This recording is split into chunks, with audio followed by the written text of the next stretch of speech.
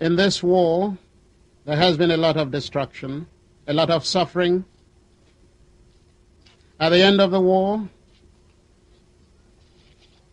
a policy of no victor, no vanquished was established. But it remained for this to be put into practice in real terms. The Igbos, as I saw them on my return, would seem to suffer some disabilities still.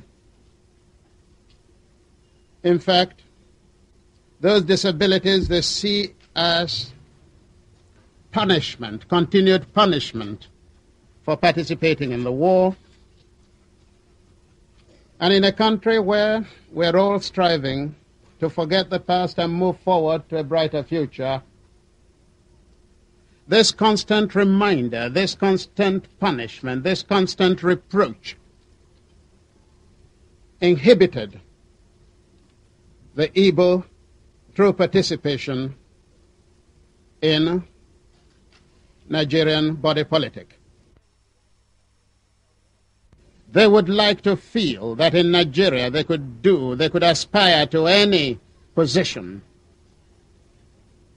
They would like to feel that there are no limitations to their contributive capacity in Nigeria. They would like to feel that they could be appreciated fully in Nigeria they would like to feel that they could be honored in Nigeria for their contribution. In short, the Igbo would like to feel